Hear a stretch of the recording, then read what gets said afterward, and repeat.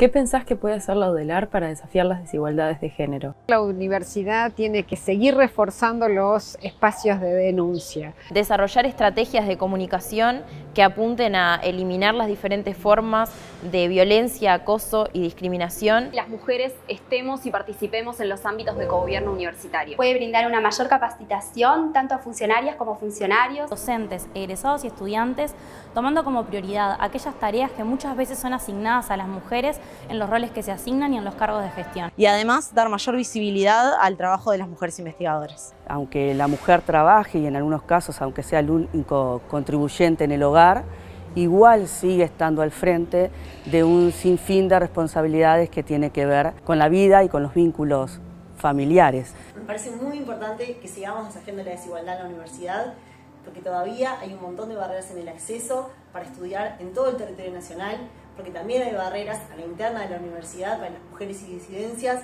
carreras académicas, en las trayectorias estudiantiles y en la carrera funcional, y necesitamos seguir consolidando políticas que ayuden a trabajar sobre la desigualdad. Desafiemos las desigualdades.